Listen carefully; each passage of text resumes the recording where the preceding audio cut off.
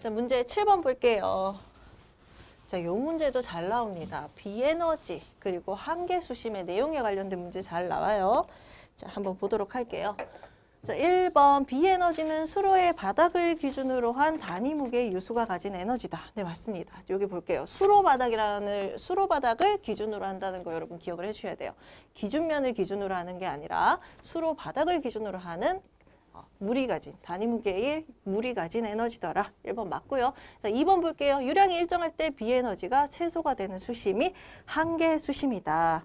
자, 요거 한번 볼게요. 우리 여기 그림을 한번 볼게요. 자, 우리가 이 비에너지 가지고 요게 비에너지 곡선이에요. 요 곡선이.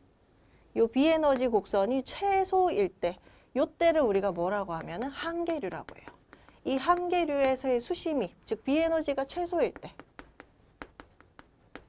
수심이 한계 수심이고, 자, 그리고 이때 한계류의 특징이 뭐냐면 유량은 최대예요. 유량이 최대. 유량이 최대가 된다고 반드시 여러분 기억을 해주세요. 자, 그리고 이 비에너지가 최소일 때 한계류고 이 한계 수심이 더 높아져. 한계 수심보다 수심이 더 높으면 상류, 한계 수심보다 수심이 더 낮을 때가 사류가 됩니다. 그래서 동일한 비에너지를 가지더라도 이제 뭐가 있냐면 흐름이 두 개가 나올 수가 있어요. 비에너지가 여기가 지금 비에너지니까 X축이 그러면은 동일한 비에너지를 가지더라도 뭐가 있더라? 상류랑 사류가 두 개가 나올 수 있더라. 그렇게 여러분 기억을 해주세요. 자, 그리고 문제 한번 다시 돌아가면은요. 자, 유량이 일정할 때 비에너지가 최소가 되는 수심, 요게 뭐예요? 한계 수심, 맞죠? 그 다음 3번. 비에너지가 일정할 때 한계 수심으로 흐르면 유량이 최소가 된다. 자, 한계 수심이다 그러면 한계류예요. 한계류에서는 비에너지는 최소지만 뭐는 최대예요? 유량은 최도가 되죠. 그죠? 그래서 유량이 최대니까 3번이 틀렸네요. 자, 이거 반드시 기억해 주세요. 한계류에서는 비에너지는 최소, 유량은 최대가 되더라. 그 다음에 우리 직사각형 단면에서 한계 수심은 비에너지의 2분의 3분의 2가 된다. 요거 우리 계산도 아까 했는데 한계 수심은 3분의 2 비에너지하고 같더라. 요거 가지고 우리 아까 뭘 구했어요? 유속 구하고 유량 구했었죠? 그래서 요것도 4번도 맞는 말입니다. 그래서 여러분 요거 반드시 요 그림하고 그 다음에 어, 한계류에서의 특징이 뭔지 비에너지랑 한계 수심 요거까지는 연결시켜서 같이 정리를 해주세요. 문제 8번 요 문제도 항상 나오는 문제예요. 우리 뭐냐면은 마찰 손실 계수가 뭐에 관한 한수냐. 측류에서는 레이놀즈만의 함수고 불완전한 난류에서는 레이놀즈 수와 우리 상대 조도 두 가지 다 함수고 완전한 난류에서는 상대 조도만의 함수더라. 요거 기억을 꼭 해주셔야 돼요. 그럼 난류라고 했기 때문에 누구만의? 네, 상대 조도만의 함수 1번이 정답이 되겠죠. 자, 문제 9번. 우물에서 장기가 양수를 한 후에도 수면 강화가 일어나지 않는 지점까지의 우물로부터의 거리를 무엇이라고 하는가? 자, 여기 지금 우물이에요. 원래는 이제 어떻게 생겼어요? 땅을 파기 전에는 여기 지금 여기 여기가 이제 지하 수위였는데 우물을 파게 파서 이제 우물을 파면 우리가 물을 사용을 할 거 아니에요. 그러면은 수위가 이제 점점 낮아지겠죠. 어떻게 낮아지냐? 이렇게 뚝 떨어지게 낮아지는 거 아니죠. 어떻게 낮아져요? 우물의 수위만 낮아지는 게 아니라 원래 지하 수위에서 우물 수위가 여기다 그러면은 그 주변의 지하 수까지 도 수위가 낮아져요. 그러면은 보세요. 원래 지하 수위가 여기였잖아요.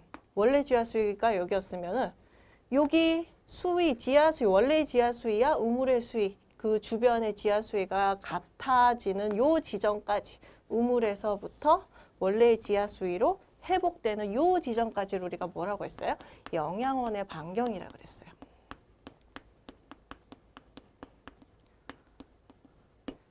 영양원의 반경. 이게 무슨 말이냐면 우물에서 물을 펐더니 주변의 지하 수위가 여기까지 영양원까지는 지하 수위가 영향을 받는다는 거예요. 그죠?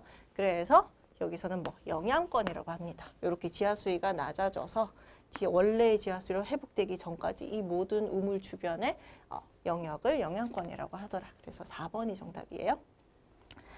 자, 10번 문제 볼게요. 자, 요거는 부채, 부피 구하는 문제죠. 항상 나옵니다. 이것도 거의 매번 나오니까 여러분 이것도 계산하는 거잘 정리해 주셔야 돼요. 우리 어떻게 계산하나요? 우리 빙산에 빙산이 지금 물 위에 빙산이 이렇게 물에 잠겨 있다고 할게요. 그럼 잠겨 있는 부피 요만큼. 요거를 잠겨 있는 부피를 V 다시라고 하고 이 빙산 전체의 부피를 V라고 해볼게요. 그럼 우리 어떻게 구하나요? 부채의 부피는. 자, 원래 빙산의 비중에다가 빙산 전체 부피는 얼마랑 똑같아요? 물에 잠겨 있는 부분의 부피 곱하기 이제 물의 비중 하고 똑같다. 이렇게 구하죠. 자, 그러면은 우리 빙산의 부피가 V고요. 그 다음에 비중이 얼마래요? 0.91이래요. 0.92 곱하기 V는 그다음 바닷물의 비중 요게 오메가 다시가 1.025. 그 다음에 바닷물에 잠겨 있는 부분의 빙산 부피 우리 지금 요거를 구하는 거예요. V slash를 구하시면 됩니다. 그러면은 V slash는 1.025분의 0.92V 해서 계산했더니 얼마 나와요? 네, 0.89 나오네요. 그래서 정답 네, 0.9 2번 되겠죠?